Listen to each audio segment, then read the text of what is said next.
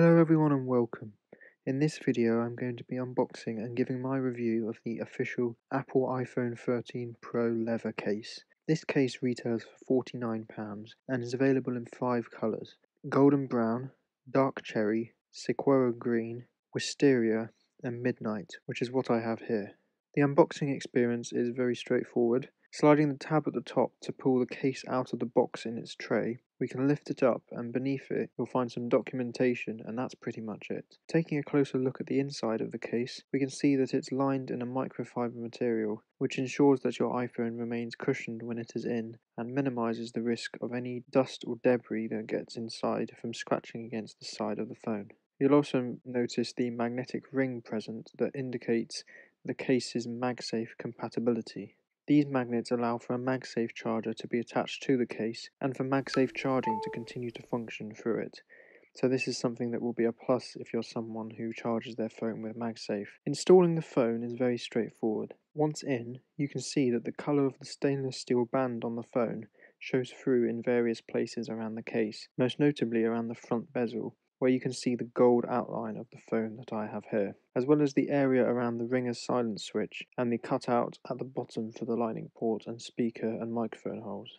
The case itself is definitely a high-end product, with a texture that both looks and feels premium. There is an Apple logo on the back that is indented into the leather, and the case is nice and soft to the touch. The buttons on the side of the case are made from aluminium that's colour matched to whichever case you go for, which is different to the official Apple silicone case for this phone, but comes with silicone buttons instead. This does give the buttons a nice tactile click, which will feel even nicer as the leather of the case wears in over a period of use. You can also see that the front perimeter of the case is raised above the display slightly, meaning that when you place the phone face down onto a flat surface, the display never makes direct contact with it, which is obviously going to protect it from getting scratched or even shattering when this is done.